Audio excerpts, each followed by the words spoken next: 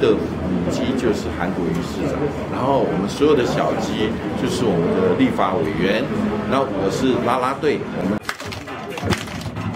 双手借给老师啊！哎，来右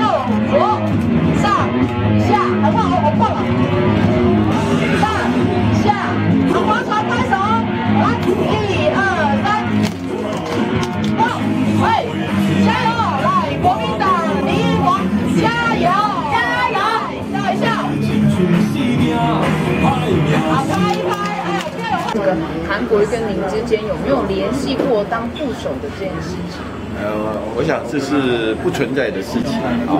我们今天全党上下共同的一个目标，就是要团结胜选，没有谈过任何个人的问题，也不存在大家谈的搭配的问题。我一再强调的一个立场，跟我坚持的态度，就是一定帮忙，不要位置。韩市长都非常的清楚。那我们都共同的目标就是希望大家能够团结一致。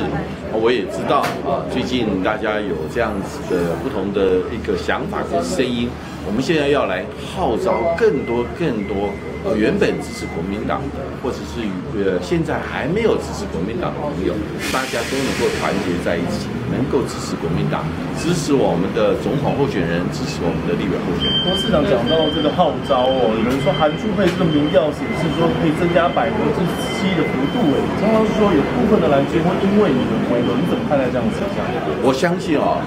啊，更多如果今天来做一个说全党团结一致啊，呃，包括国民党每一位都来支持韩国瑜，还有很多民众都来支持韩韩国瑜，这个民调可能会立刻增加十七趴，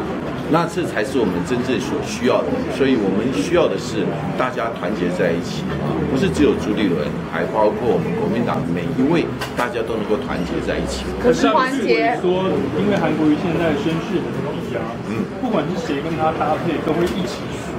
啊，任何见缝插针，任何想要破坏团结的想法，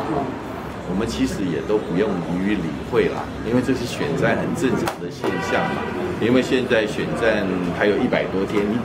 等着看，还会有更多破坏团结或者是想要见缝插针的做法。那我们自己面对对手，我们自己就要团结一致啊，不要有任何的二心。今天唯一的母鸡就是韩国瑜市长，然后我们所有的小鸡就是我们的立法委员，那我是拉拉队，我们大家都是当好的助选员，当好拉拉队。可是要生出很多小鸡，母鸡也需要公鸡啊。可是科学数字来说，你如果跟他当副手，你就是会跟蔡英文只差三个百分点。你放心啦、哈，我也不是母鸭，也不是公鸡，我是拉拉队。那我们都会有需要很好的拉拉队，然后我们更重要的是大家能够团结在一起。